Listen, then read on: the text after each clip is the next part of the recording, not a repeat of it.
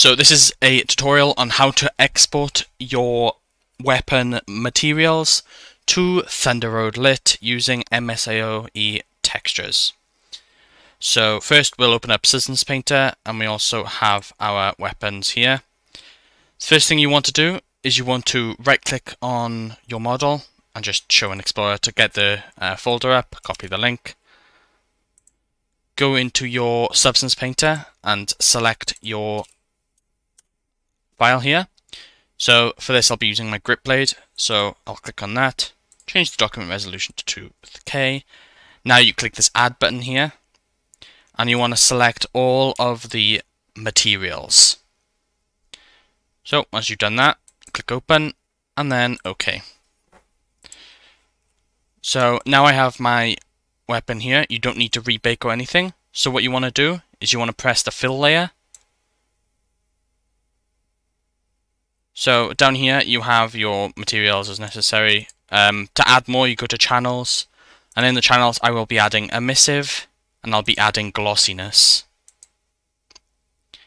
Okay, so now that I have that, I'm going to tick glossiness and emissive and I'll click on the base colors just to select the weapon.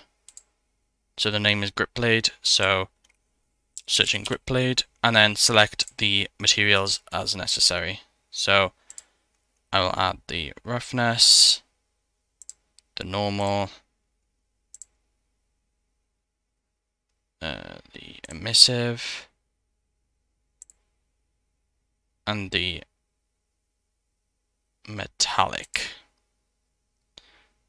So now that I've selected those, uh, glossiness and height don't have a texture, I will also go to texture set settings, and I will select the ambient occlusion map and I will put the AO or ambient occlusion into there too. So my weapon's a little bit messy because of the uh, the emission map that I made, but that's fine. So now what I want to do is I want to click on File, Export Textures, go to this window, make sure you select your folder. So for this I will create a new folder called MSAOE just to put it the textures in a new folder. Now you want to go to output templates.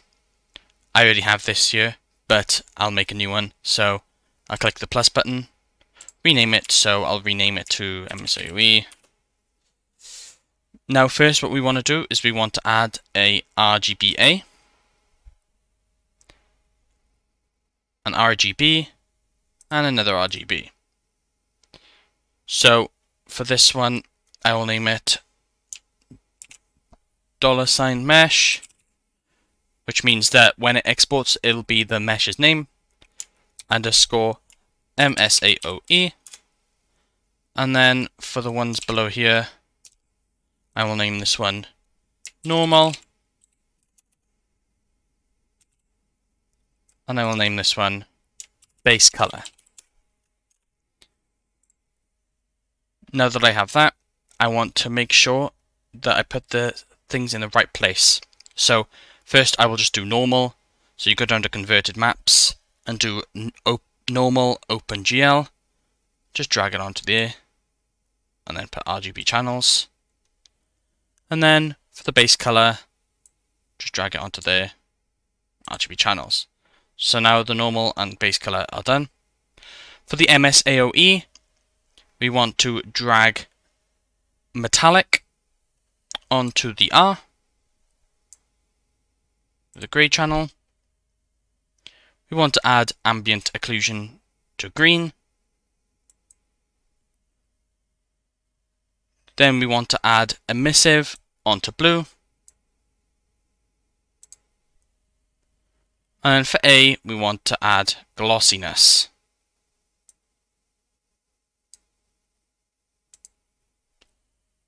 So remember for red is metallic, green is ambient occlusion, blue is emissive, and the alpha is glossiness.